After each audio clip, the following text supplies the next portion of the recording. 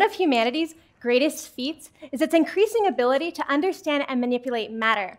Yet, as far as we've come from the Stone Age to the Age of Information, we're far from mastering matter in its most fundamental form the atom.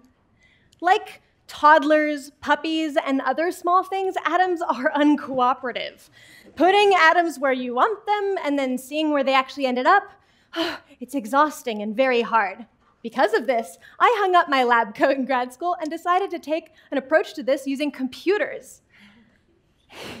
Using existing computational techniques, given an arrangement of atoms, scientists can predict its properties. The question is, how do we find new, useful arrangements of atoms that are worth experimental efforts?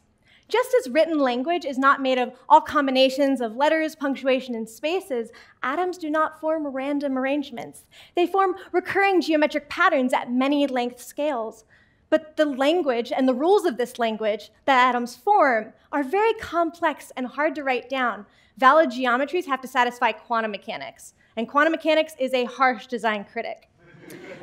So I set out to build an algorithm that can learn the language of atoms using a machine learning technique called deep learning.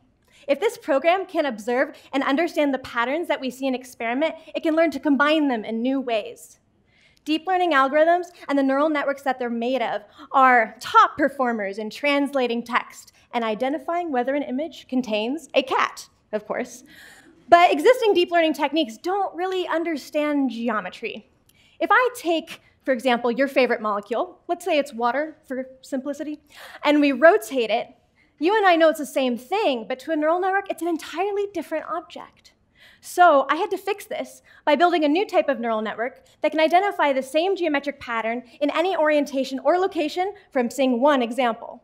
This property turns out to be very useful beyond my original purpose of generating new atomic geometries. Turns out this property makes these networks super able to efficiently emulate expensive physics calculations because these networks obey the same symmetries as physics.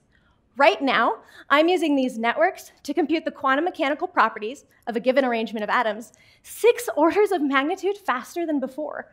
In the time of this talk, I could have calculated all the supercomputer calculations that I did in my entire PhD. That's pretty cool.